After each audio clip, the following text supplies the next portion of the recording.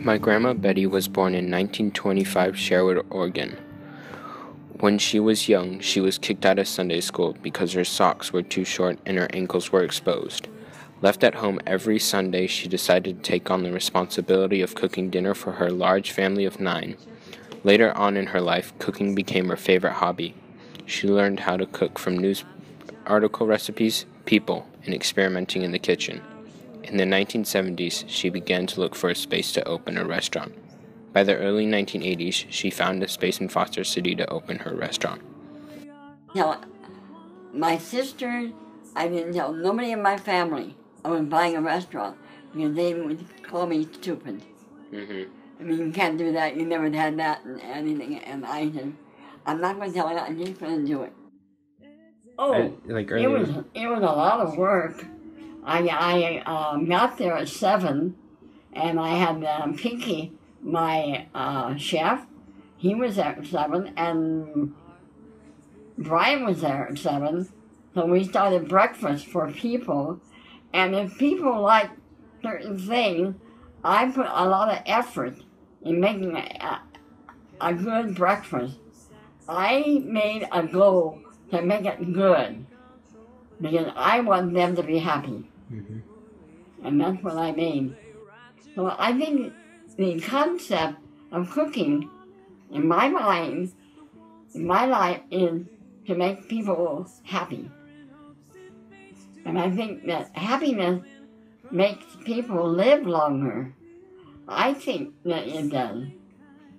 Now I'm living to be 89, and uh, my family they ha- all have high blood pressure, and I try not to have salt or sugar or any of that to uh, prevent from having a heart attack. So good health. Good health is your wealth. Sadly, because of the rising popularity of fast food restaurants, my grandma's restaurant only remained open for five years. To this day, my grandma loves when our large family comes together for the holidays and eats food that she once made in her restaurant and ate as a child. My grandma taught my dad, Brian, how to cook many of the recipes that I have for dinner today.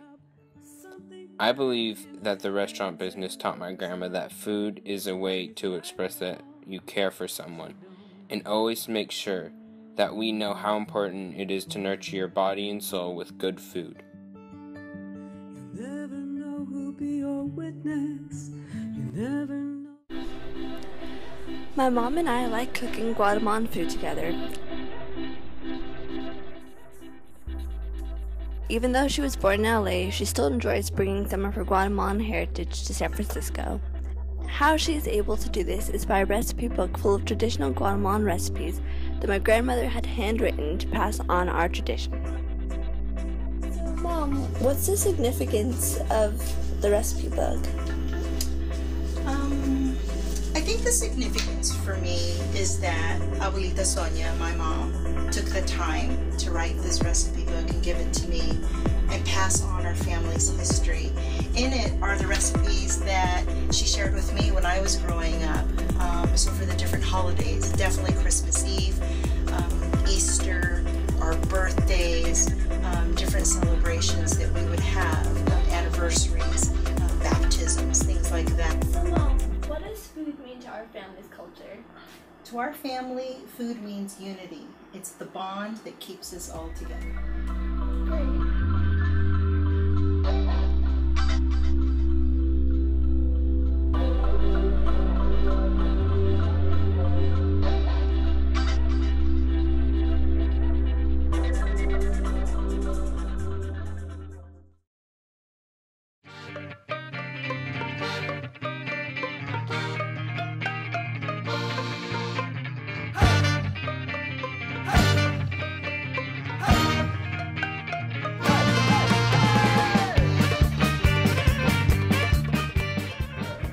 Come from a multicultural family with rich culinary traditions.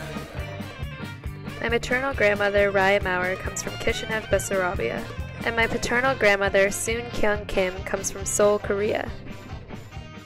While they're still with me, I want to learn as much as I can from them.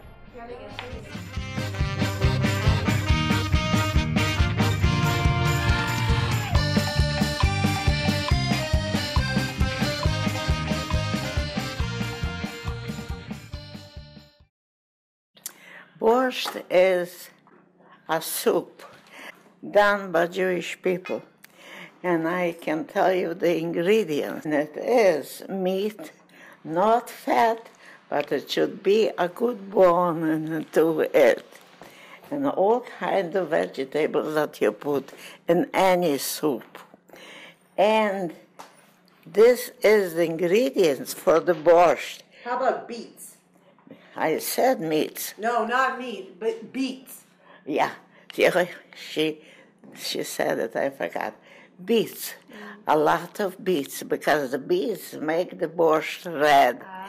And this is this main thing that called borscht. It's red soup. And the more different kind of vegetables you have, the better the borscht. And mm-hmm. someday, then you'll have the time and you'll have the meat. I will start with you from beginning to the end.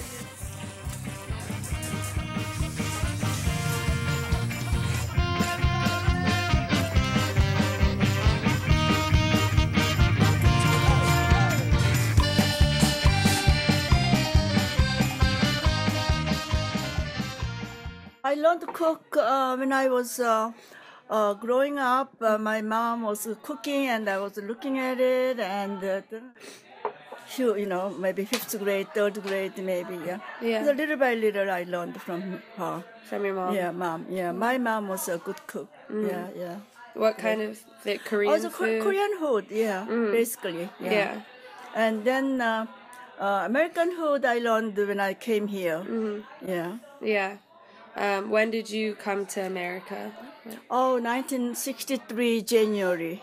Yeah, January 19th, I think. And when you came, was it mostly cooking American food, or you still cooked Korean Oh, I think mostly uh, Korean food, I guess. Yeah. Yeah. My husband liked to eat meat, so I had to learn and not to cook before. Do you enjoy cooking, or is it just a chore for you? Uh, half and half.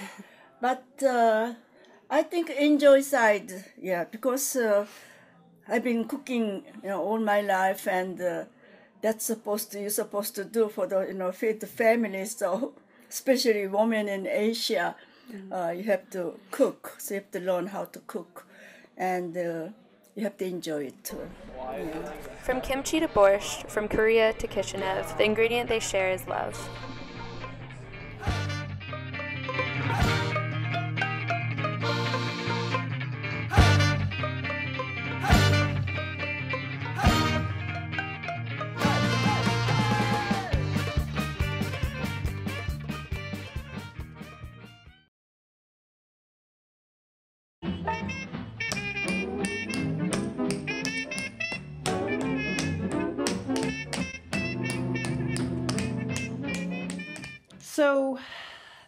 Nose, um, I definitely have a love hate relationship with it. Um, I got it from my dad, and I have two sisters who also have had uh, somewhat similar noses, at least in, in size. And both of, of my sisters chose to get nose jobs um, but I wanted to find a way to love what I had instead of trying to change it. And mostly I've done a pretty good job of that. Sometimes I love the fact that I have something that other people don't. Um, but growing up as a teenager with this nose was not easy. I had some incredibly mean things said to me as did one of my sisters. Um, but I love the fact that I have something unusual and sometimes something that's seen as beautiful to myself and to others. And it came from my dad, and his sister has a similar nose, and my grandfather had an interesting nose, and I assume it went on for generations. So, um, it's an Italian amazing nose. I mean, what can I say?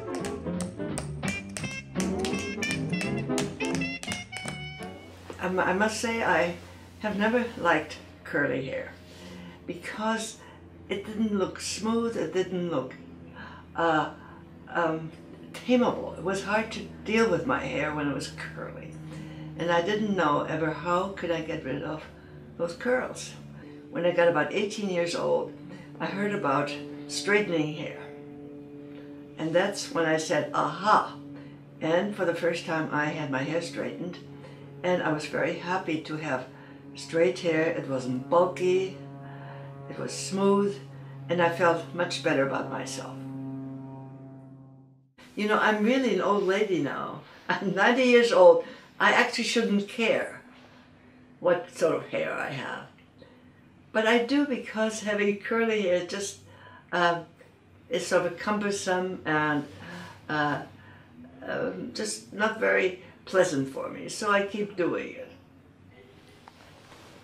Uh, you know, I know a whole bunch of older ladies who go and have permanents.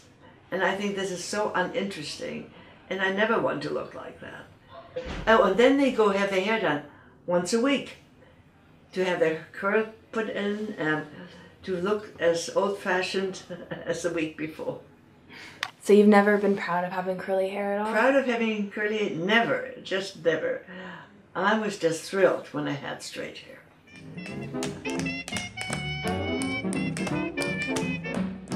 My father. A man who watches sports, a man who eats meat and potatoes, and a man without hair. Dad, take off the wig while we're filming. What wig? Dad, Oh, you mean for real now? yeah. Thank you.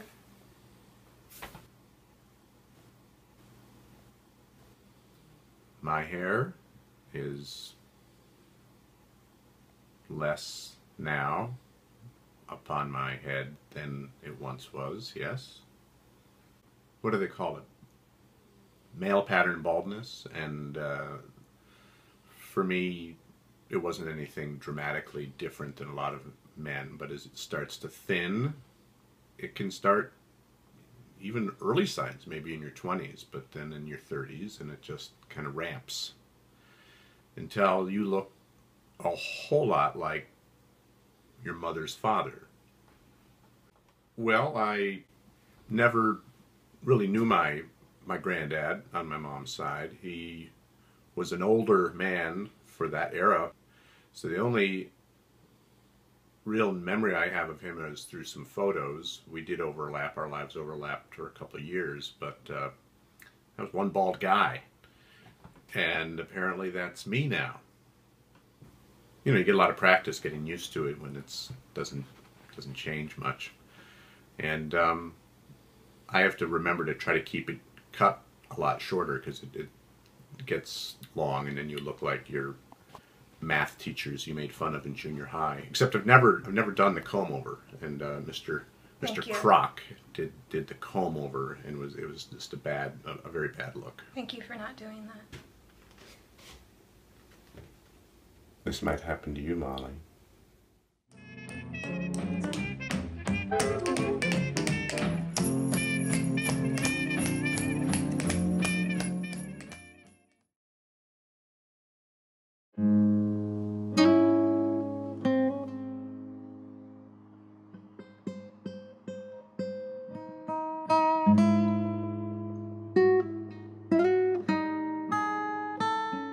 My name is Vanessa Gershbein. I'm 18 years old and I'm exploring my family's immigration story. This box is stuff.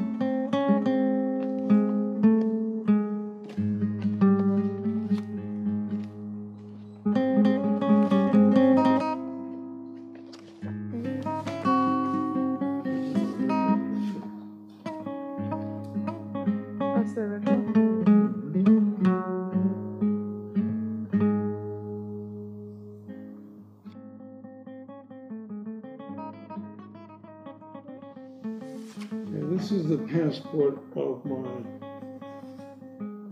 grandfather, who I never met, Benjamin Gershbein. It was passport he had uh, 1921, American Consul General uh, for the journey to the United States. And uh, Benjamin Gershbein.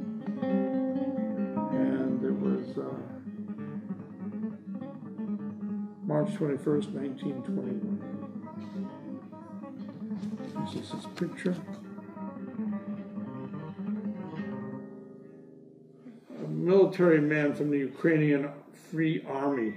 This was a time of tremendous confusion and chaos in Russia, especially in the Ukraine.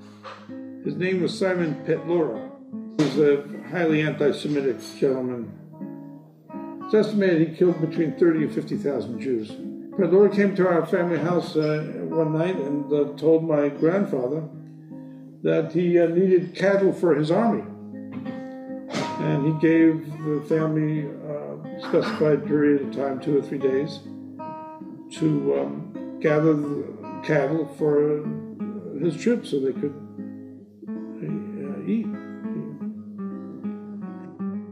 Additionally, Petlura threatened the family with that he would take the women out and put them in the whorehouses for his troops, and he would burn the house down.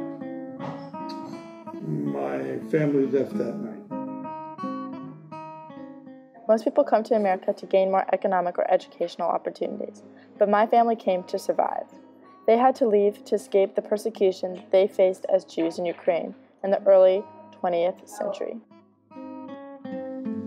This is Zeta, you know, the guy in the middle. That's him. Your grandpa? Uh, my, my great grandfather. I have freedoms that are easy to take for granted, but now I know that being an American is a privilege because I don't have to live with the fear of persecution. I know my roots will survive.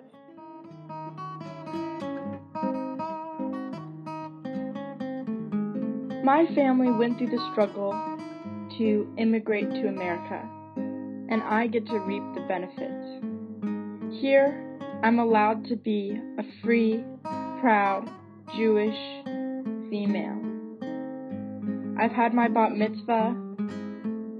I've celebrated Hanukkah with my family freely, and I embrace my Jewish culture and heritage.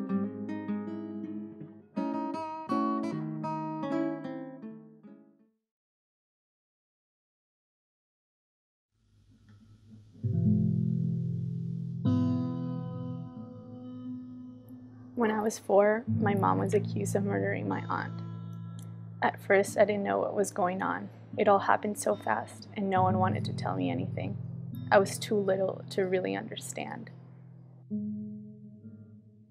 I've been thinking a lot about what happened to my family and the reasons we moved from Ecuador to America. I've never gotten a full explanation. I need to know what happened and what brought us here. All I know is that my aunt Janina's boss killed her. My name is Maria Belén Avellán, and I want my aunt's story to be heard because it's also my story. El presidente de la República cerró los bancos. Entonces, este hombre, como fue sobrino del dueño de un, banco, entonces todas las la, los CD que quedaron ahí los empezaron a vender y él los compraba en una cantidad mísera. Entonces Yanina se enteró de toda esta situación y, y, y, y, como decir hoy día viernes, dijo voy a renunciar y él, él eh, le, dijo al jefe voy a renunciar. Entonces él pensaba que Yanina iba a contar todas estas sinvergoncerías que él había hecho. Entonces se fue, este le, este le dijo que el lunes renunciaba, así que cuando llegó a la oficina le dijo, Yanina, quiero que vengas acá a, a, otra parte donde iban, donde eran unas bodegas, quiero que vayas tú a esas bodegas para hacer un balance. Entonces Yanina se, se fue en su carro y de ahí la mandó a perseguir y la cogió y la pagó a unos hombres y la, la mató. Venimos nosotros acá porque fuimos perseguidos, porque mataron injustamente. Entonces él quiso eliminar toda, toda, toda prueba, toda prueba que, se, que sea en contra de él, porque él fue el culpable, él mató, la mató a ella. Entonces nosotros en vez de nos convertimos en perseguidos por él. Tanto es así que yo a mí me detuvieron para medrentarme, medrentarnos, no, no seguir acusándolo. The guy who killed my aunt was so powerful that he could just bribe the authorities to look the other way for him to get away with murder. Totalmente. De la noche a la mañana todo, todo, cambió.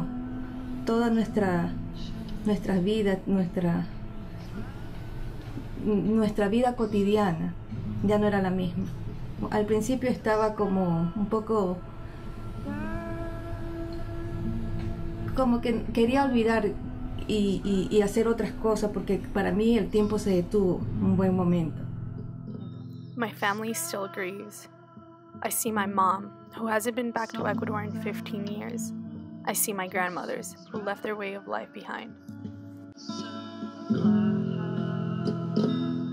Porque yo nunca me imaginé que mis hermanas tenían que irse a vivir a, otro, a otra ciudad, a otro país, sin imaginarme nunca que eso iba a pasar. Entonces, al pasar este acontecimiento, esta desgracia, se, se deshizo todo. El cambio fue tremendo. Enseñados a otra, a otra cultura, a otra clase de vida, como dice mi hermana, la unión familiar. Para nosotros era ir a, las, ir a visitar a una amiga, a la familia, entonces es distinto. En cambio acá ya se va a trabajar hijo, mi nuera, las niñas a la escuela, nosotros pasamos solas, no tenemos amistades peor que no, con el idioma no nos podemos comunicar con otras personas, entonces es tremendo. Que nosotros no estamos tranquilas porque se cometió la injusticia más grande. Y nunca hicieron justicia. What happened will always affect my family and me. This is part of our identity. This is part of our story.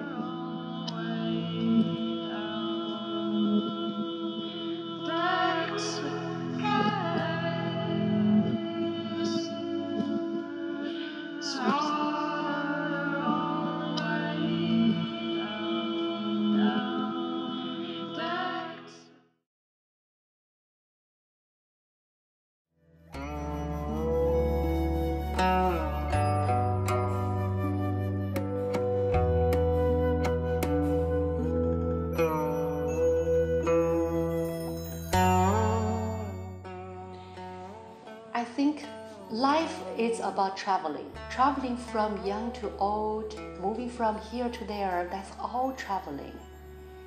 I am traveling through my life.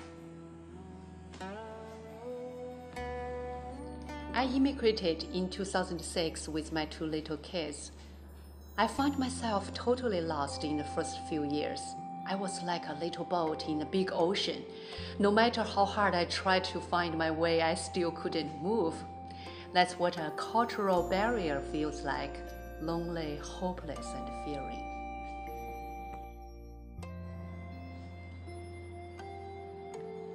San Francisco is a multicultural city.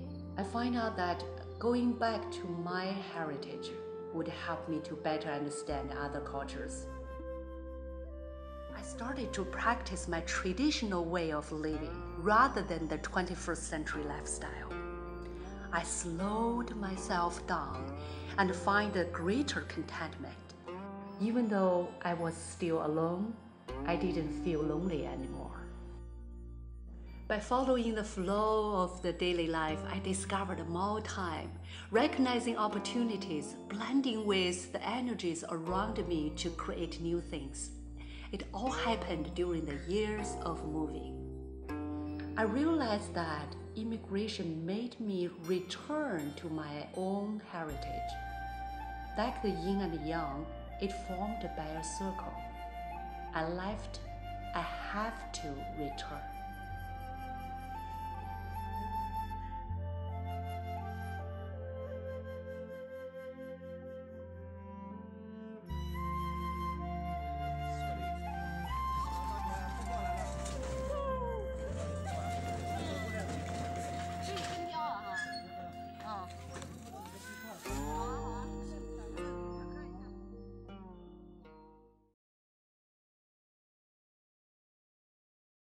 My name is Cambria Rose Winchelbaum Warfield. My mom named me after my great grandma Rose Winchelbaum. Grandma's family was from Odessa, Russia, and she was the first one born in the United States. My grandma Winchelbaum had four kids. My dad was the third. But, you know, she just she took care of everybody. Grandma kept Jewish traditions alive in Kansas when no other families in her town were Jewish. Today, my mom teaches my family about those traditions. Okay. So that's the first night of Hanukkah, folks. Right next to the Christmas tree. Let's open Seder. I hadn't been in the synagogue since I was, you know, seven or eight, so I didn't have any, and I definitely didn't have anything here. But you needed to have something, someplace, some extended community to belong to. Because my father is Christian, my family found that community at church. I, I mean, now we go to the Presbyterian church. It's more comfortable. There's a lady pastor. It's a small congregation that you know takes care of each other, and we know people there, and it's just it's comfortable. Even though my family goes to church now, I continue to keep those Jewish traditions alive that my grandma Rose and my mom passed on to me.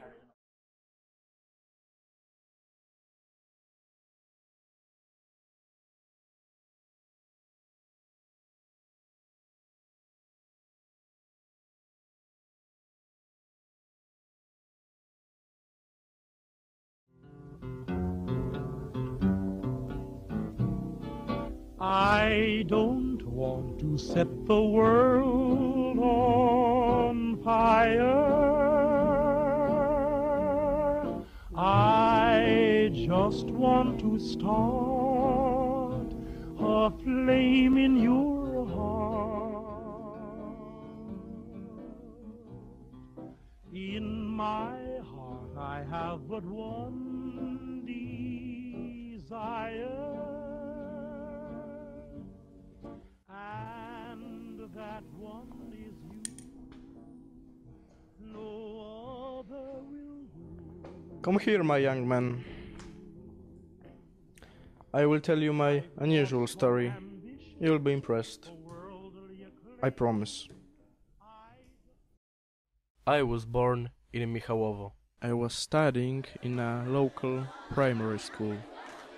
I remember that like it was yesterday. There were 20 or so in my class. Recall, sorry, my memory is not so well. The time came when I had to grow up and study harder. At the end of the day, I was waiting in a day room for my father, who was returning in the evening from work. I was living so carelessly for a couple of years when I have heard a radio broadcast. They say that soon they will be recruiting every 18 year old boy into the army to take place in front line. Germany planned to invade Poland. Soon I have enlisted. They have were nine of us in the squad, eight Poles and one Russian guy. He was very mysterious. He wasn't talking much. One day the command gave orders. I wasn't good with the rifle, and my athletic skill wasn't also. So I was assigned to scouting. My duty was to patrol the forest near the camp. I thought it was a perfect job.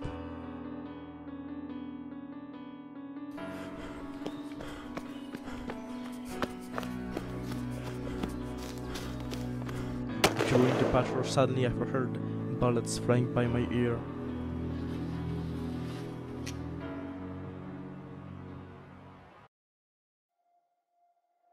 I would jump into the trenches. When I tried to take a look, I felt terrible pain in my stomach.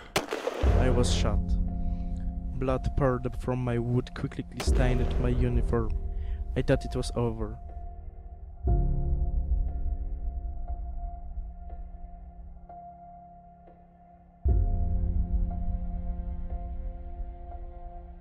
Before I passed out, I saw the Russian guy running my way.